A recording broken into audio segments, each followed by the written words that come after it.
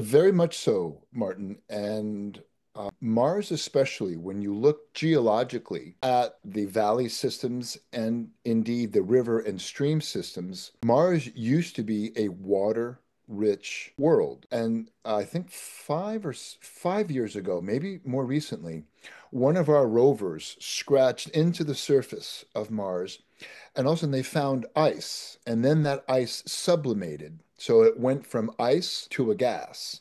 And so water, uh, Mars used to be an extremely water-rich world. It had seas, and geologically, it slowed down or died, so it didn't have the same geothermal element occurring to hold an atmosphere, to hold that water.